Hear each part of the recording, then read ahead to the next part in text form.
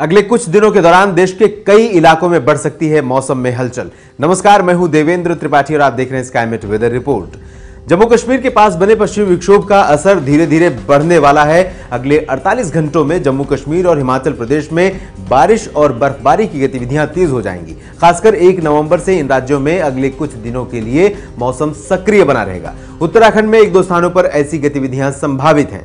दूसरी तरफ़ राजधानी दिल्ली के साथ साथ नोएडा, गाजियाबाद, गुरुग्राम फरीदाबाद और आसपास के भागों में मौसम का मिजाज जस का तस रहेगा, जिसके चलते प्रदूषण का राक्षस आज भी आपकी सांसों पर आक्रमण करता रहेगा।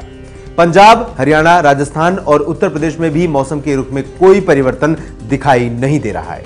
अहमदाबाद, सूरत, मुंबई, पुणे, इंदौर और भोपाल सहित गुजरात, मध्य प्रदेश और महाराष्ट्र में दिन में गर्मी और रात में ठंडक का मौसम बना रहेगा। उमस भी जारी रहेगी क्योंकि हवाएँ पूरब की दिशा से आ रही हैं, जिनमें मॉइस्चर ज़्यादा है, लेकिन बारिश की उम्मीद नहीं कर सकते।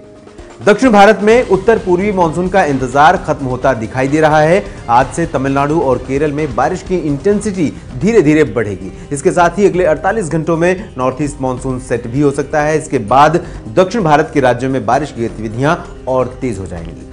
बंगाल की खाड़ी पर बना low pressure system north east direction में आगे निकल रहा है, जिसके चलते ओडिशा में बारिश में कमी आएगी, लेकिन कोलकाता सहित पश्चिम बंगाल के दक्षिणी शहरों और पूर्वोत्तर भारत के राज्यों में तेज बारिश आज भी देखने को मिल सकती है। ओडिशा के उत्तरी शहरों में हल्की वर्षा की संभावना है। इसी तरह बिहार और झारखंड पर चाहे बादलों और पूर्वी दिशा से आ रही नम हवाओं के बीच रांची, जमशेदपुर, बांका, जमुई, नवादा, भागलपुर, कटिहार और आसपास के कुछ शहरों में हल्की बारिश देखने को मिल सकती है। स्काईमेट वेदर रिपोर्ट में अभी के लिए इतना ही।